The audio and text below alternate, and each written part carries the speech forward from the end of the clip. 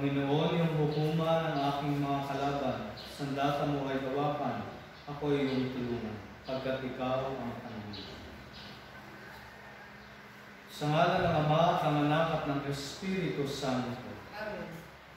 ang pagpapala ng ating Panginoong Heso Kristo, ang pag-ibig ng Diyos Ama, at ang pakikipagkaisa ng Espiritu Santo naway sumainyo naman. At sumayon. Mga kapatid, aminin natin ang ating mga kasalanan upang tayo maging marapat gumanap sa banal na pagkakas.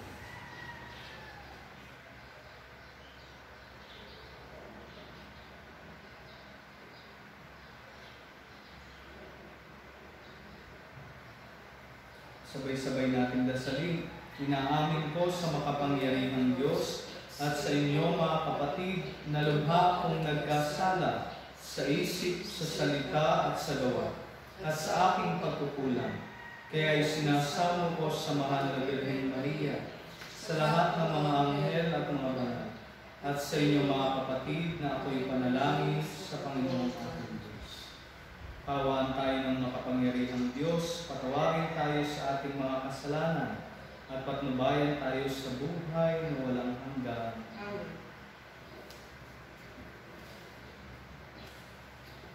Manalangin tayo. Ama naming makapangyarihan, kaming napasubsob dahil sa aming kahinaan, ay makabangon nawa at makapanindigan pakundangan sa pagpapakasakit ng iyong anak na kasama mo at ng Espiritu Santo magpasawalang hanggan. Amen.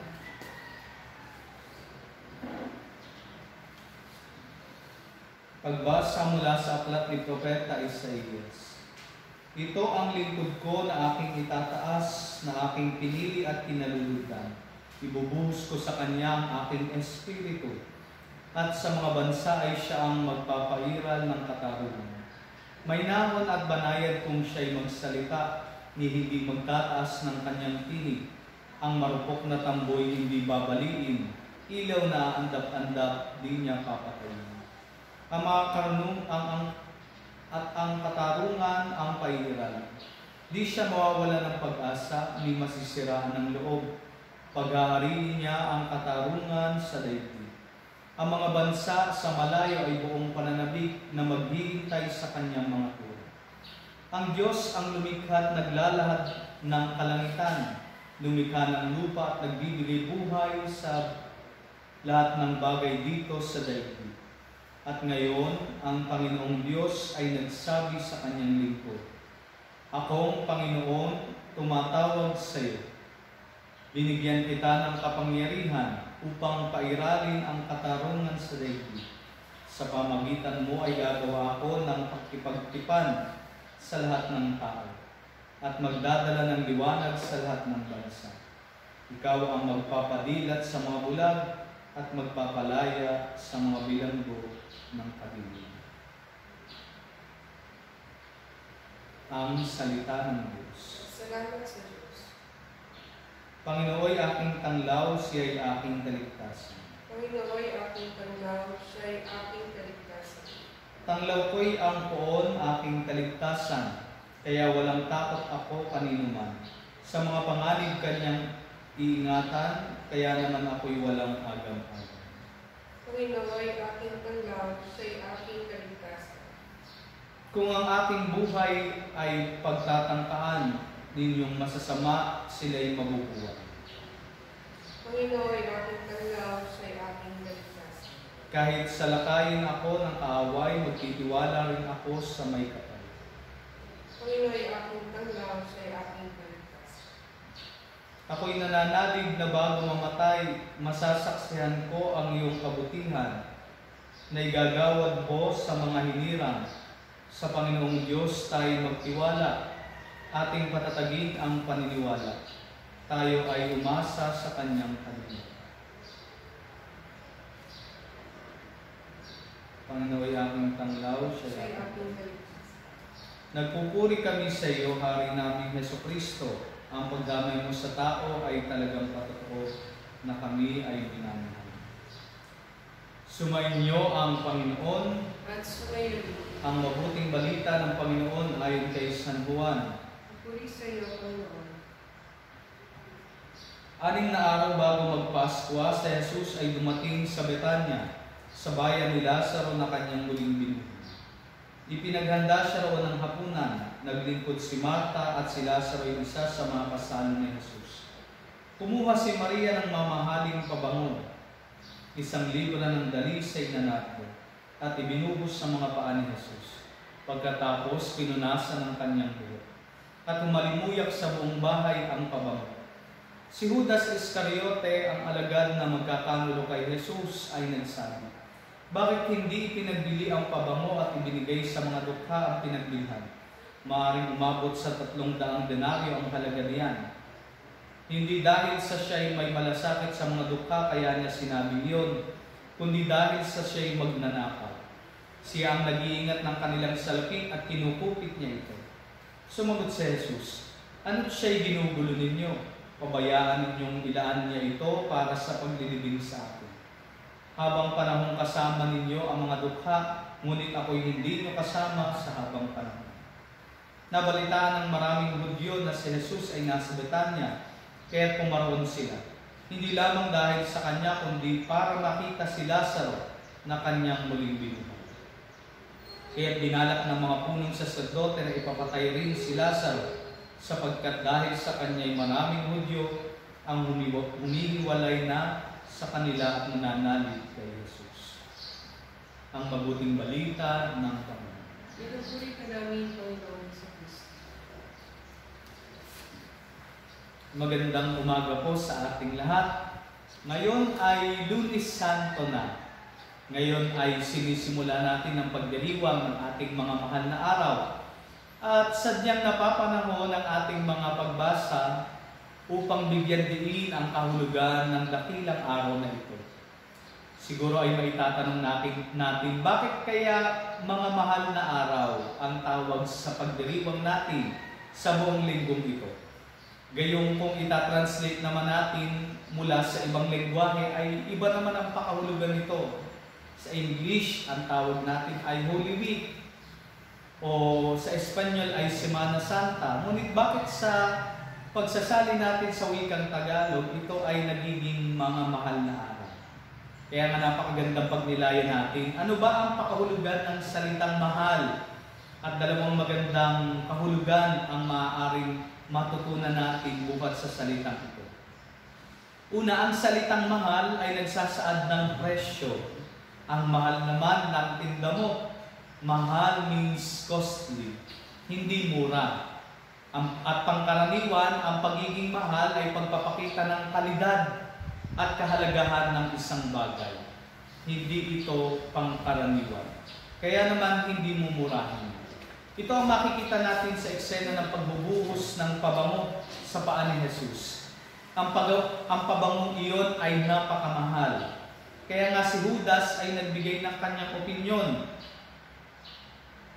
at sinabing dapat sana ay pagbili at ibigay na lamang ang napagbilhan sa mahihirap. Ngunit malinaw ding isanaad na hindi naman talaga ang mahihirap ang kanyang iniisip, kundi ang perang maaari niyang makupit dito.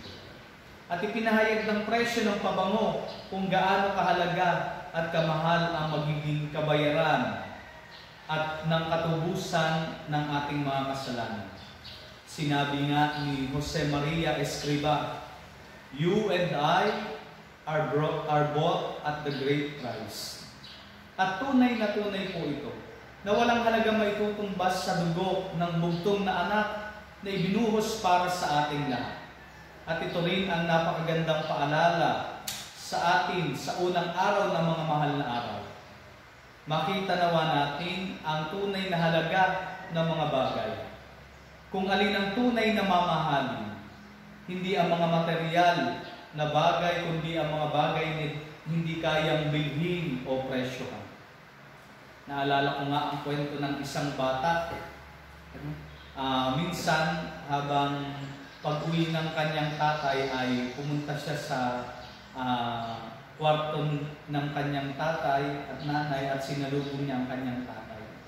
At tinanong niya ang kanyang tatay, Tatay, magkano ang iyong sweldo sa isang araw? Ah, nagulat yung tatay sapagkat bakit naman kaya tinatanong ng kanyang anak yung sweldo, sweldo niya sa buong araw, sa isang araw. At sinabi niya ay, ah, ang sweldo ko anak sa isang araw ay ah, 900 pesos. At nagulat siya dahil nung narinig yun ng bata, siya ay ah, yumuko at parang malungkot na umalis. Subalit, pagdaan ng isang linggo, ay ah, muli na namang sumalubong yung kanyang anak. At ganon ay tinanong nung ah, anak sa kanyang tatay, Tatay, pwede po ba akong humingi ng 300 pesos? At ito ay ipinainit ng ulo ng kanyang tatay dahil sabi ng kanyang tatay, kulang pa ba ang ibinibigay ko sa iyong baon o pera dahil ah, malaki na nga ang baon mo at nag, naghihingi ka pa ng 300 pesos. Saan mo naman yan gagamitin? Kaya naman malungkot muli umalis yung bata sa kwarto ng kanyang mga magulang at ah, pumunta na sa kanyang kwarto. Subalit napagtanto ng kanyang tatay na maaaring mayroon lang gustong bilhin ang kanyang anak. Kaya naman ah, nung gabi iyon ay pumunta siya sa kwarto ng kanyang anak at kanya itong inamo. At sabi ng kanyang tatay, ah, anak, ito na yung 300 pesos na hinihingi mo. Ano ba ang gusto mong bilhin? Sabihin mo sa akin upang maunawaan ko bakit kailangan mo pang humingi ng 300 pesos. At doon ay, nung makuha ng bata yung 300 pesos, ay nagdingding yung kanyang mga mata. Tuwang-tuwa siya. At nagulat yung tatay dahil pagkatapos iabot niya yung 300 pesos, ay dumukot yung batang ito ah, doon sa ilalim ng kanyang unan. At nagulat siya dahil mayroon doon mga 50 pesos, 20 pesos. At nung makita niya, ay binilang ito ng bata. At 600 pesos na yung kanyang naipon. Ah, in addition, yung 300 pesos na binigay ng kanyang tatay, ibinigay niya ito sa kanyang tatay at sinabi ng bata, sa napaka-inosenteng pamamaraan, Tatay, ito po ang 900 pesos.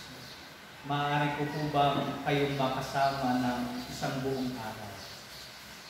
Yung palang iniipon ng bata ay para ibigay sa kanyang tatay upang bilhin o in a way presyohan yung isang buong araw na pagtatrabaho ng kanyang tatay.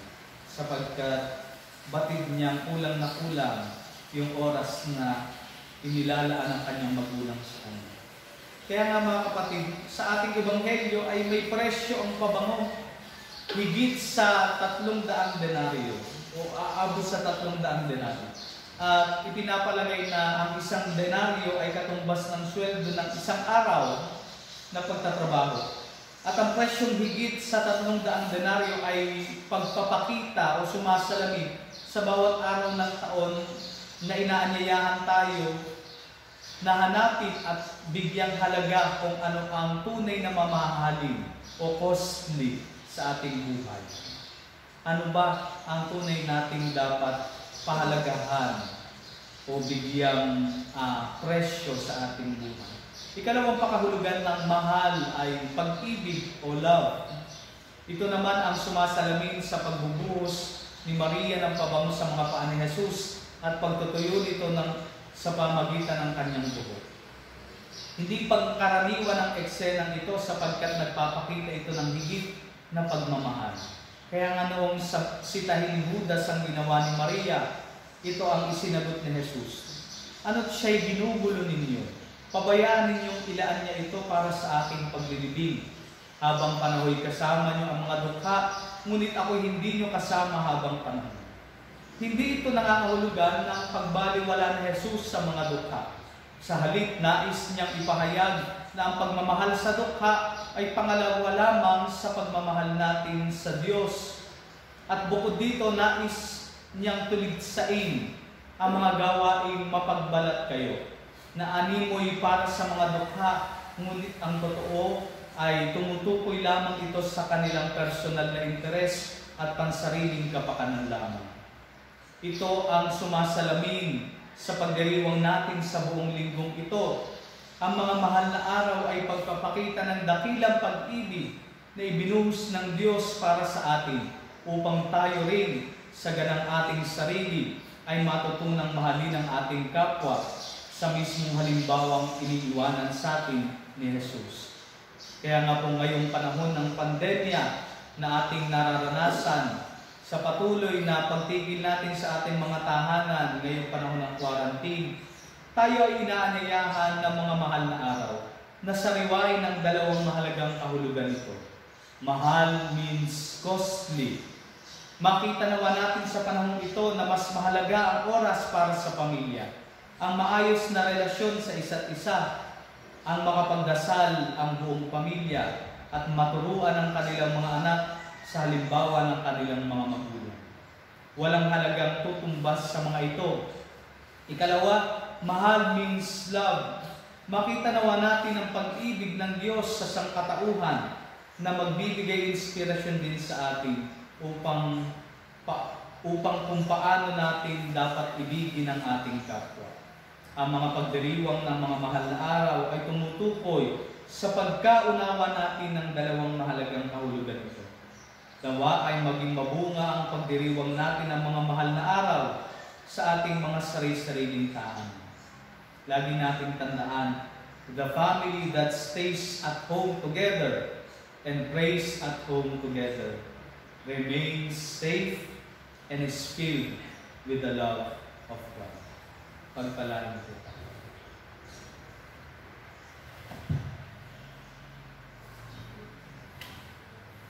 Oratio Imperata, Diyos Ama namin, lumalapit kami sa iyo para sa aming kahilingan na kami ay laban sa COVID-19 na kumitil na ng maraming buhay at nakaapekto na sa sangkatauhan.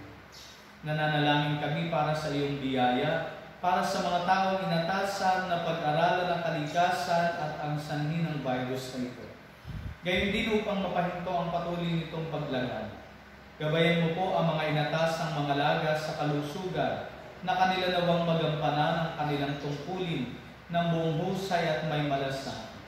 Gabayan mo po ang mga kawani ng pamahalaan at ang mga nasa pribadong institusyon sa kanilang paghanap ng lunas upang masugpo ang pandemyang ito. Ipinapanalangin namin ang lahat ng mga naapektuhan, naway hilungin mo po ang kanilang karamdaman. Ipagkaloob mo po nawa sa amin ang iyong biyaya upang kami ay patuloy na makagawa ng kabutihan para sa lahat at makatulong sa lahat ng mga nangangailangan. Ipinapanalangin po namin ito sa pamagitan ng aming Panginoong Heso Kristo, iyong anak, na nabubuhay at nagahari kasama ng Espiritu Santo magpasawalang hanggan. Maria ang inaatulong ng mga Kristiyano. San Rafael Arcangel. San Roque. San Lorenzo Ruiz. San Pedro Calbuso.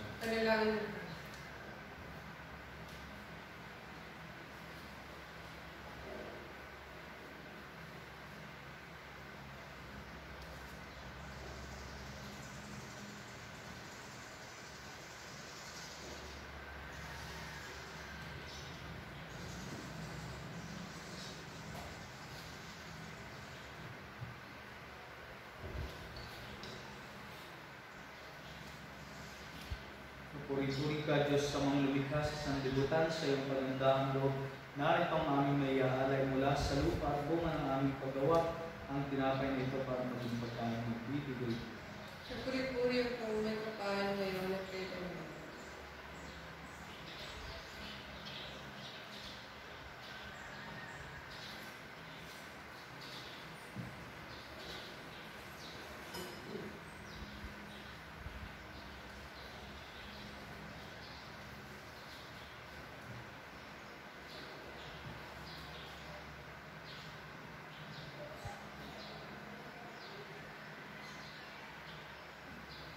Kapuri-puri ka Diyos sa mga lumikha sa sanlibutan, Sa iyong kagandahang loob na itong aming mayaalay. Mula sa katas ng ubas at bunga ng aming paggawa, ang alak na ito para maging inumin bibigay ng mga Espiritu. Puri-puri po may kapal ngayon at kailan.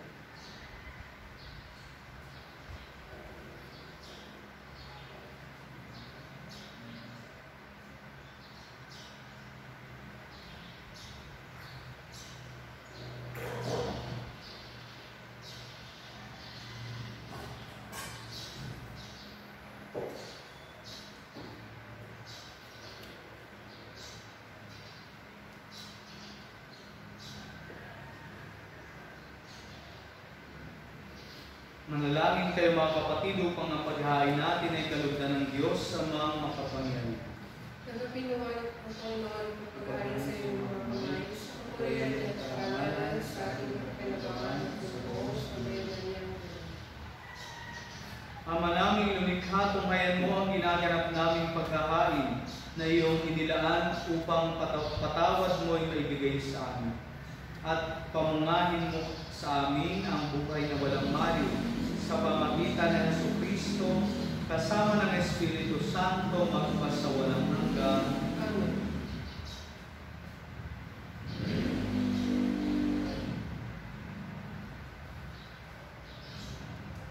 Sumainyo ang Panginoon, At sumayon, itaas sa Diyos ang inyong puso at diwa. tinasa namin sa Panginoon. Pasalamatan natin ang Panginoong ating Diyos. Na siya ay salamat. Ama naming makapangyarihan, tunay nga marapat na ikaw ay aming pasalamatan sa pamagitan ng Yeso Kristo na aming Panginoon.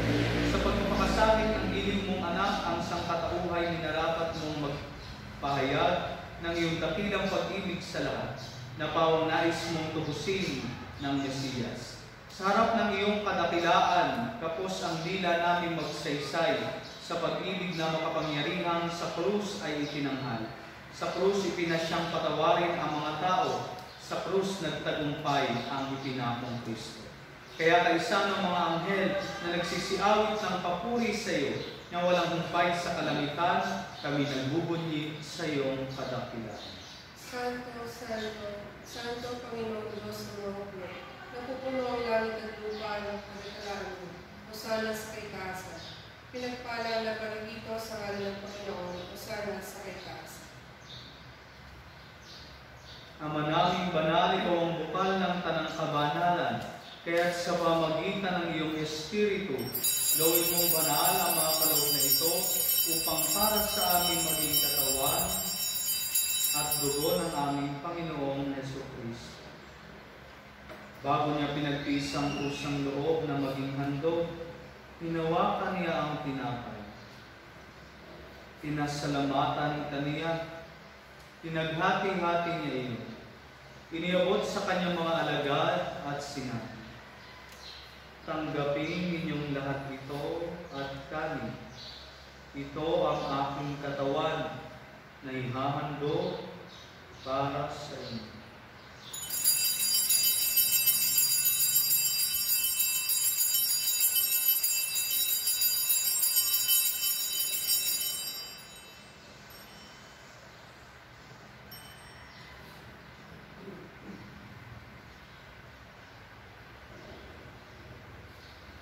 Gayon din naman nung matapos ang hapunan, hinawakan niya ang kalis.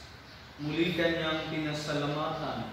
Iniabot niya ang kalis sa kanyang mga alagad at sinabi, Tanggapin ninyong lahat ito at inumin. Ito ang kalis ng aking dugo, ng bago at walang hanggang tipan. Ang aking dugo na ibubuhos para sa inyo at para sa lahat sa ikapagpapatawad ng mga kasalanan. Gawin ninyo ito sa pag-alaala sa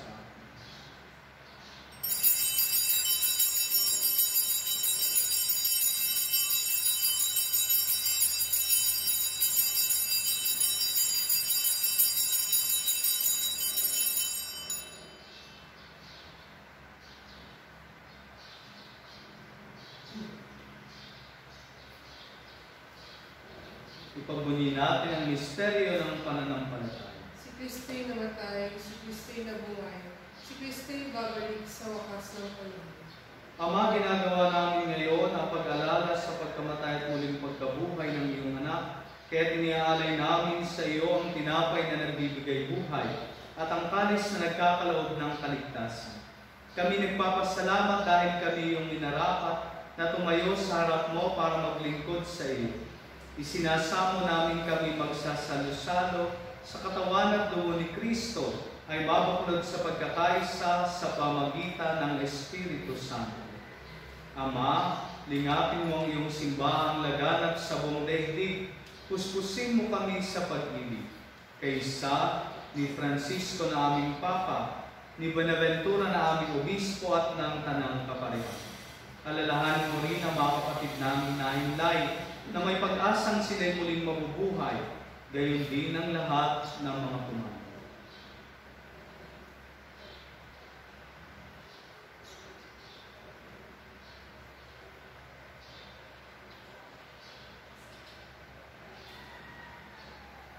Kawan mo sila at patuloyin sa iyong kaliwanagan.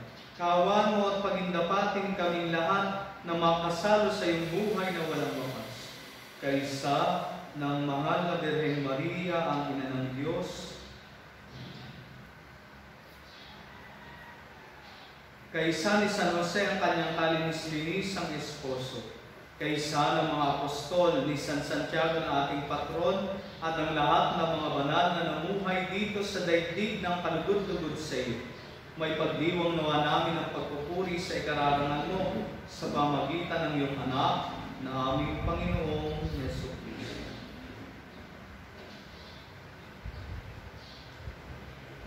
Sa pamagitan ni Kristo, kasama niya at sa Kanya, ang lahat ng parangal at papuri ay sa iyo. Diyos amang makapangyarihan, kasama ng Espiritu Santo, magpasawalang hanggan. Amen.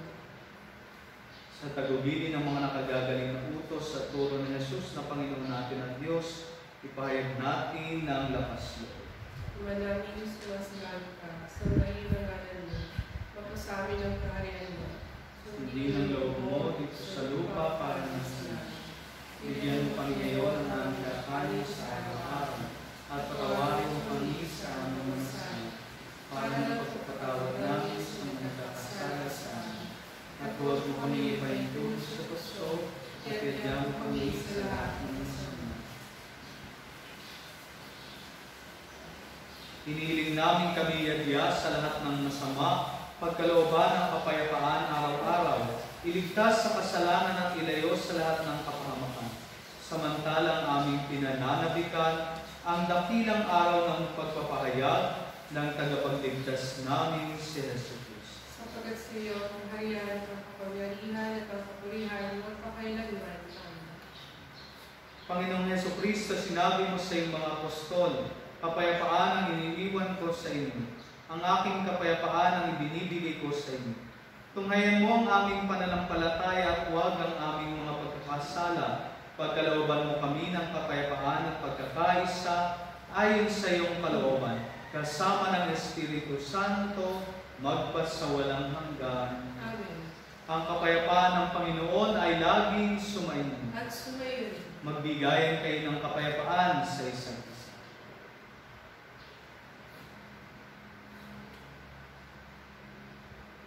Pagdara ng Diyos na mga kasalanan ng sanlibutan at mga kasama. Pagdara ng Diyos na nag-aalis ng mga kasalanan ng sanlibutan at mga kasama. Pagdara ng Diyos na nag-aalis ng mga kasalanan ng sanlibutan, ipagkaloob mo sa amin ang kapayapaan.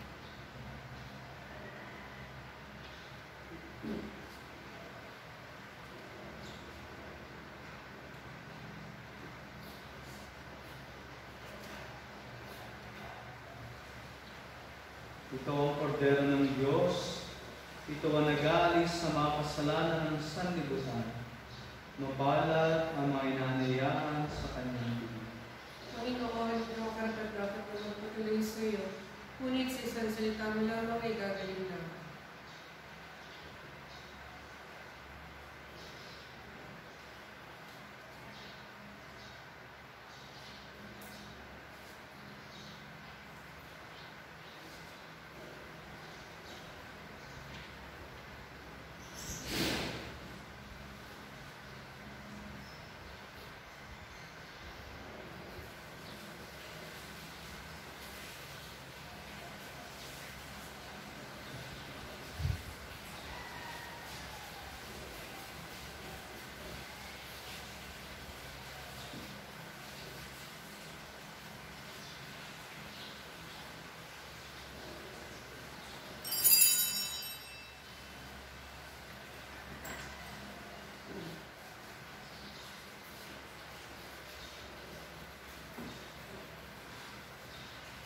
Huwag mo akong pagkaitan ng paghingap ng pagtungay, pagtunghay.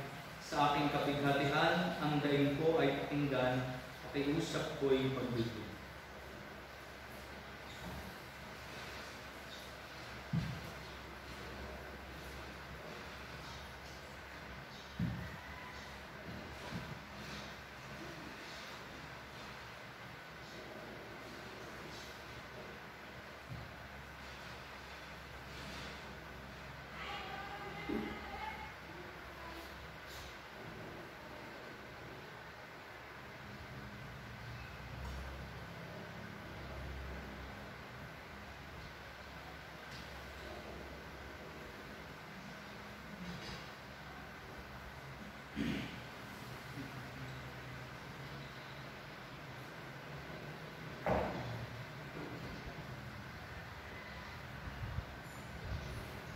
Manalangin tayo.